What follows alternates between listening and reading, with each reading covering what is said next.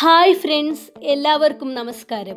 ഇന്ന് നമ്മൾ ശിവരാത്രിയെ കുറിച്ചാണ് സംസാരിക്കുന്നത്. ഹൈന്ദവരുടെ ഒരു ആഘോഷമാണ് മഹാശിവരാത്രി. ശിവനുമായി ബന്ധപ്പെട്ട ഏറ്റവും പ്രധാനപ്പെട്ട ആഘോഷമാണ് ഇത്. കുംഭമാസത്തിലെ കൃഷ്ണപക്ഷത്തിലെ പതിമൂന്നാം രാത്രിയും പതിനാലാം പകലുമാണ് ശിവരാത്രി ആഘോഷിക്കുന്നത്.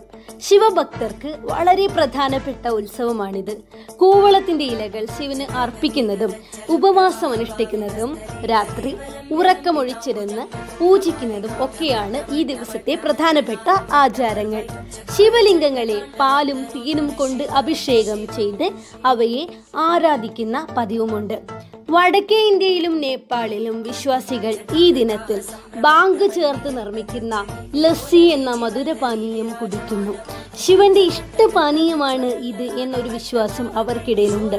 കേരളത്തിൽ തന്നെ ആലുവ ശിവക്ഷേത്രം വടക്കുനാഥ ക്ഷേത്രം തുടങ്ങിയ പ്രസിദ്ധമായ ക്ഷേത്രങ്ങളിൽ ശിവരാത്രി മഹോത്സവം വിപുലമായി ആഘോഷിക്കാറുണ്ട്.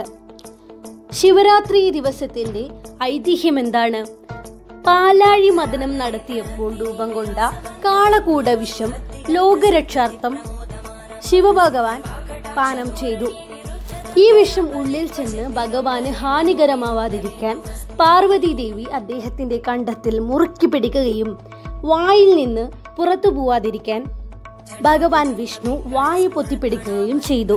അങ്ങനെ വിഷം കണ്ടത്തിൽ ഉറയ്ക്കുകയും ഭഗവാന് നീലകണ്ഠൻ എന്ന നാമധേയം ലഭിക്കുകയും ചെയ്തു.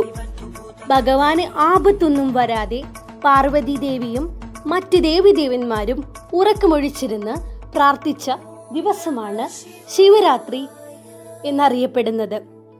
എല്ലാവർക്കും ശിവരാത്രി ആശംസകൾ. ഇതിലും മികച്ച വീഡിയോ ആയിട്ട് അടുത്ത പ്രാവശ്യം കാണാം.